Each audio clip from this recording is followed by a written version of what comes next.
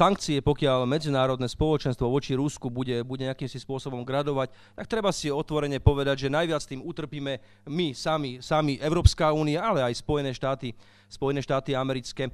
Viete, ono, médiá, médiá naozaj neobjektívne informujú a už vôbec neinformujú o tom, čo sa deje na území, povedzme, bývalého sovietského, sovietského zväzu. Málo kto napríklad vie, že v novembri minulého roku sa v, práve v bieloruskom Minsku uskutočnil summit, krajín spoločenstva nezávislých štátov, kde došlo k ustanoveniu, k ustanoveniu Euroazijského ekonomického zväzu.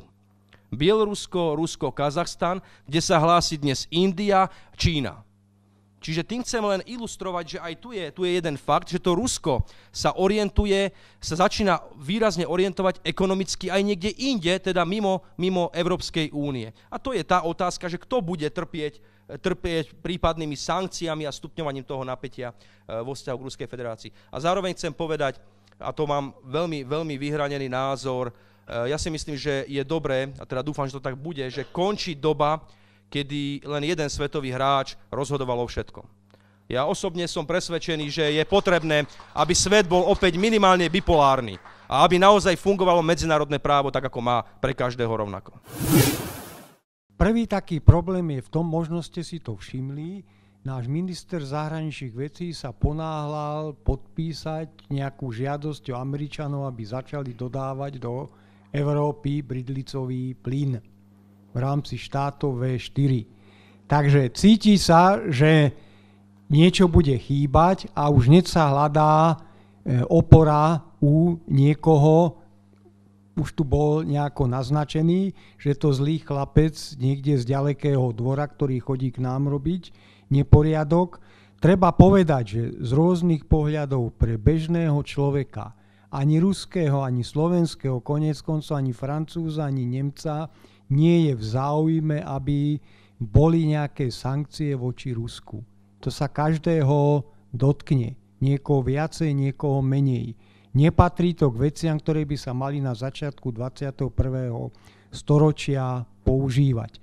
Tak to je taký jeden všeobecný pohľad. Druhý, už tu bolo niečo o, e, multi, teda o bipolarite, o jednopolárnom svete. Treba povedať to, že možno v minulosti sa nám sugeroval taký pohľad, že je západ a východ. My sme patrili k východu, ale dneska, keď sa na to pozrieme, Otázka je diskuzí, či Slovensko patrí k západu, nepatrí k západu, to je na dlhú diskuziu, ale východ sa uvažuje buď od Ukrajiny alebo od Ruska. Ale Rusi sami od čias Petra Veľkého diskutujú o tom, či sú západníci alebo sú otečestveníky.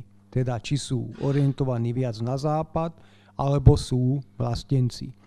Pričom treba zobrať to, že v dnešnom svete sa objavuje ešte ďalšia veľká sila na východ od východu. Čína. Bez Číny ten svet fungovať nebude. Ak chceme uvažovať, môžeme ešte uvažovať aj o Indii. Či sa nám to páči alebo sa nepáči, aj moslimovia majú určitým spôsobom právo na to, aby si riešili svoje problémy sami a nemusia počúvať stále Američanov. Takže vytvára sa tu skutočne multipolárny svet. Ja patrím k tým, ktorí kritizujú toto usporiadanie sveta. Ale v žiadnom prípade nechcem to, aby u nás bol čínsky či moslimský svet na Slovensku. To si my sami rozhodneme. Lenže ako sa správa Západ. Keď nie je po našom, tak nech tam nie je nič. Toto musí najbližších rokoch skončiť a to je aj naša úloha alebo naša možnosť využiť to aj v súvislosti s Európskou úniou. Pokiaľ bude v Európskej únii dosah dolára, pokiaľ tu budú rozhodovať rôzni poradcovia z Washingtonu a budú platiť ľudí v Čechách, na Slovensku, na Ukrajine, aj v Rusku sa pokúšajú plácať a pokiaľ tu bude NATO, tak zatiaľ tu nebude voľnosť, sloboda, zatiaľ tu nebude Európska únia taká, aká by mala byť a takú, akú chceme. To je v tom kontexte tých sankcií, že skutočne Európska únia, ak urobí, pristúpi na sankcie voči Rusku, poškodí sama sebe a bude len vazalom Washingtonu a napomôže tomu, že ten Washington, ktorý už nemá síl ďalej svet ovplyňovať, bude môcť byť silnejší. Takže toto je môj pohľad na sankcie, ktorým netreba, ktorými dneska netreba operovať a treba sa proti tomu postaviť na rôznych fórach a zdôvodňovať, že to je len priestor preto, aby americké firmy mohli z tohto vyťažiť aj ich ďalší spolupracovníci.